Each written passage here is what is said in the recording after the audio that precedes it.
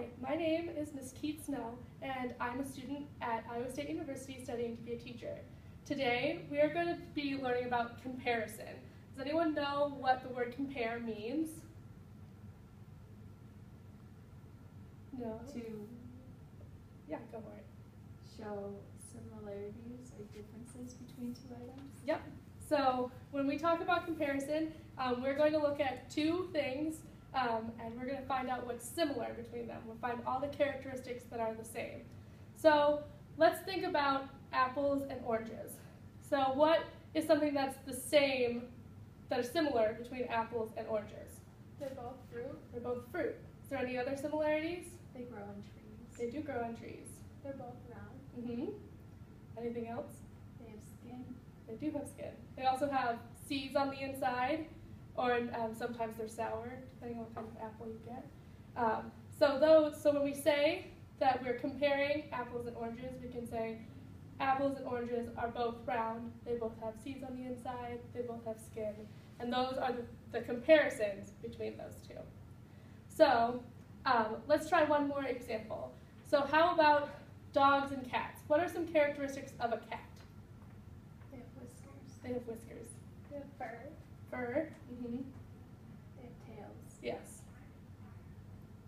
And four paws. four legs. Yes. Anything else?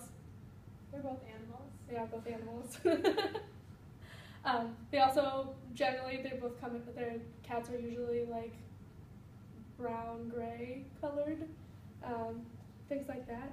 So, um, what are some characteristics of dogs then? They have tails.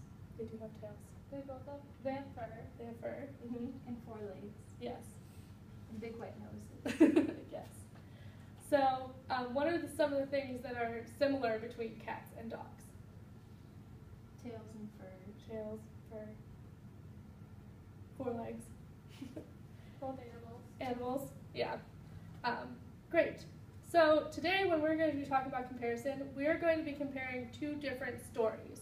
So I'm going to hand out this handy little graphic organizer.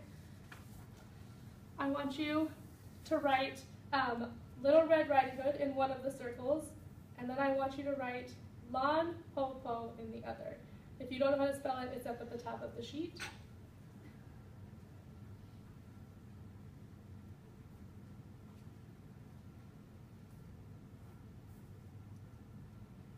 Great.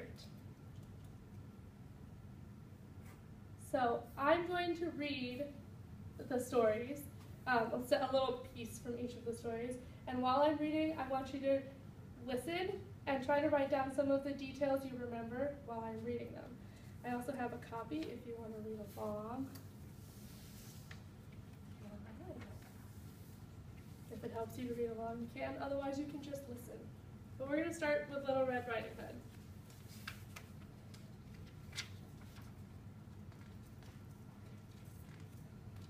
So, once upon a time, there was a little girl who lived with her mother in a cottage on the edge of a big forest. Whenever the little girl went outside to play, she wore a beautiful red cloak that her grandma made for her.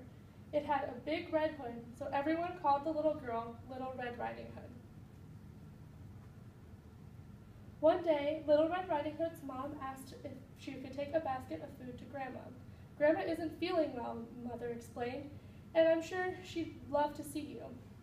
Grandma lived on the other side of the forest, so Mother drew a map on a piece of paper so that Little Red Riding Hood wouldn't get lost. And remember, don't talk to any strangers along the way, said Mother. Helping Little Red Riding Hood into her cloak, Little Red Riding Hood took the, uh, took the basket of food and skipped into the forest. On the way, Little Red Riding Hood saw some beautiful blue flowers. Grandma might like these, she thought. As she bent down to pick up pick a handful of the flowers, she didn't realize someone else was in the forest. Hello, little girl, said a deep, growly voice. Little Red Riding Hood jumped with fright. A big wolf peered out from behind one of the trees. Oh, hello, replied Little Red Riding Hood, smiling back at the wolf. She had already forgotten her mother's warning. Where are you going? growled the wolf. I'm visiting my sick grandma who lives on the other side of the forest, Little Red Riding Hood explained. Ah, what a kind girl you are, smiled the wolf, showing off his razor sharp teeth. Just then, the wolf's tummy gave a loud, rumbly grumble. What was that? asked Little Red Riding Hood. Just some thunder over the hills, said the sneaky, hungry wolf as he ran away as fast as he could to Grandma's cottage. The hungry wolf peered through Grandma's window and saw the old lady in bed. With a loud howl, the wolf dashed into the cottage and gobbled up Grandma in one large gulp. Then the wolf put on Grandma's spare nightcap and glasses and clambered into her bed, pulled up the quilt to his, up to his chin, and now all he had to do was wait for Little Red Riding Hood to arrive. So if you want to write some things down in your Little Red Riding Hood circle about Little Red Riding Hood, anything that you remember,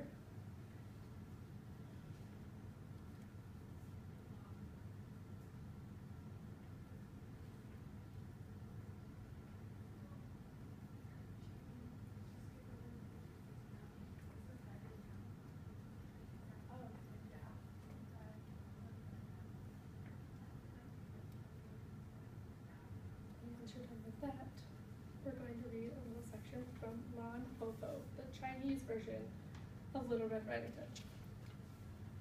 So, once long ago, there was a woman who lived alone in the country with her three children, Shang, Tao, and Paotze. On the day of their grandmother's birthday, the good mother set off to see her, leaving the three children at home. Before she left, she said, Be good while I am away, my heart loving children. I will not return tonight. Remember to close the door tight at sunset and latch it well. But an old wolf near, lived nearby and saw the good mother leave. At dusk, disguised as an old woman, he came up to the house of the children and knocked on the door twice. Bang, bang. Shang, who was the eldest, said through the latch door, Who was it? My littlest, my little jewels, said the wolf. It is your grandmother, your Popo. The wolf acts surprised to meet me. Oh, oh yeah, it is. Um, I have. Why is the pages all messed up? Hold on, pause it.